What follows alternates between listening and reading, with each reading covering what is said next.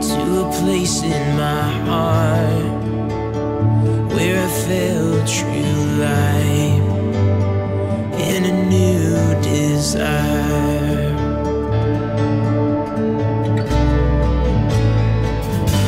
And this is how.